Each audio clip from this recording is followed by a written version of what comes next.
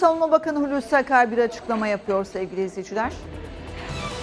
Onların görüşlerini dinledik. Sorularını cevaplandırmaya çalıştık. Burada bildiğiniz gibi gerekli çalışmalar yapıldıktan sonra ciddi ve samimi şekilde muhataplarımla görüştükten sonra konuya birlikte müttefiklik ruhuna uygun NATO içindeki ittifakımıza uygun bir şekilde koalisyon olarak, koalisyonla birlikte, Amerika ile birlikte bir çözüm için çalıştık. Bunun mümkün olmadığını gördüğümüz için ülkemizin hak ve menfaatleri konusunda bir karar verdik. Ve bu kararda bildiğiniz gibi 9 Ekim saat 16'dan itibaren uygulanmaya başlandı. Şu ana kadar buradaki faaliyetler Mehmetçiğin büyük bir başarısıyla, kahramanlığıyla, fedakarlığıyla çok şükür devam ediyor. Tel Abyad kontrolümüz altında. Resulay'ın kontrol altında ve bölgenin kontrolü ilgili çalışmalar devam ediyor. Buradaki mücadelemiz sadece YPG'le değil, DAEŞ başta olmak üzere tüm terör örgütleriyle. Bizim için tek hedef teröristler. Bunun dışında hiçbir etnik, hiçbir dini grupla bizim hiçbir ilişkimiz söz konusu değil. Bu manada mücadelemiz söz konusu değil. Onların güvenliği de bizim için önemlidir.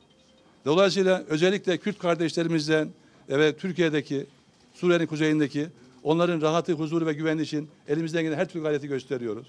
Tel Abyad'da özellikle Resul ayında oralar kontrol altına aldıktan sonra ülkemiz lehinde, silahlı kuvvetlerimiz lehinde oradaki e, vatandaşların, Suriyeli kardeşlerimizin yaptıkları e, gösteriler, yaptıkları açıklamalar bizleri ziyadesiyle memnun etmiştir. Bu DAEŞ konusunda bildiğiniz gibi bir e, hapishane meselesi var. Bu hapishanelerle ilgili de biz elimizden gelen gayreti göstermeye kararlıyız.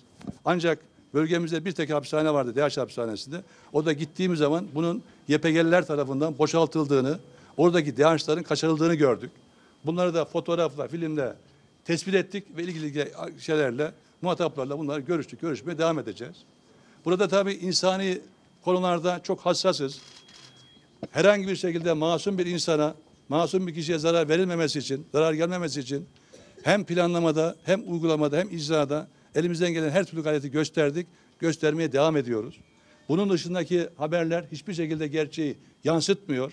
Bu konuda Türk Silahlı Kuvvetleri milli, manevi, mesleki değerlerine son derece bağlı. Elinden geldiğince tamamen ahlaki değerler ölçüsünde mücadelemizi son derece temiz bir şekilde sürdürüyoruz. Buradaki esas olan husus ülkemizin güneyinde, Suriye'nin kuzeyinde herhangi bir terör koridoruna müsaade etmeyeceğimiz. Esas olan budur. Gayretimiz budur. Bu sadece ülkemizin, halkımızın, sınırlarımızın güvenliği değil, aynı zamanda Suriye'nin de kuzeyinin güvenli bir bölge haline gelmesiyle orada yaşayan, yaşamakta olan e, Suriyeli kardeşlerimizin de evlerine ve topraklarına güven içinde dönmelerini sağlamak da bizim bir başka amacımız.